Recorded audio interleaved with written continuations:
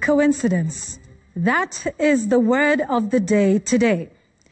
The dictionary defines it as a remarkable concurrence of events or circumstances without apparent casual connection. An example of a coincidence is when you run into your friend at the market when you didn't expect to. Now, there was a rather big coincidence that took place this week in the country. That of the arrest of Senators Cleophas Malala of Kakamega County, Stephen Lelegwe of Samburu, and Christopher Langat of Bomet County.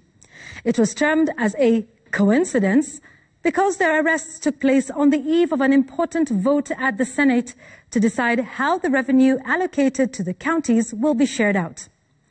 As usual here on My Take, I have questions. Is it a coincidence that the three senators whose votes are very crucial for that revenue sharing formula that has failed at the Senate a record nine times were all arrested on the same day? Is it a coincidence that none of them was charged with any offense despite police officers camping at their homes from as early as 3 a.m.? A coincidence that they were all released without having paid a cash bail? Folks, is it also a coincidence that none of them has formal charges presented against them in a court of law after those dramatic arrests that took place four days ago? And isn't it an interesting coincidence that both the majority chief whip in the Senate and those in charge of the country's security who arrested the lawmakers both termed the arrests as, you guessed it, coincidence? Is it yet another coincidence that the CS in charge of Interior did not appear before the Senate the very first time because he was supposedly on leave? And was it a coincidence that when the CS and the police boss who would typically order such arrests were grilled behind closed doors, away from the media and the public at large? Folks, what is no coincidence is that this has been done before. When people opposed to a government stance are arrested in such dramatic fashion, from politicians all the way to the general citizenry.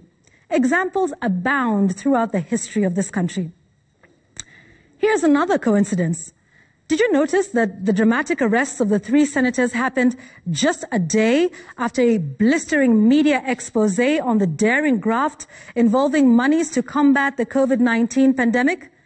It seems like our attention as a nation was now drawn away from interrogating what could be another heist of public funds and directed to a dramatic scene that ended in an anticlimax with no charges against individuals the police had spent so much energy and resources and time trying to apprehend.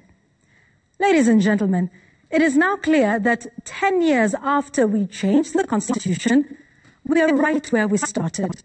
The more things change, the more they have remained the same. And that, my friends, is not a coincidence.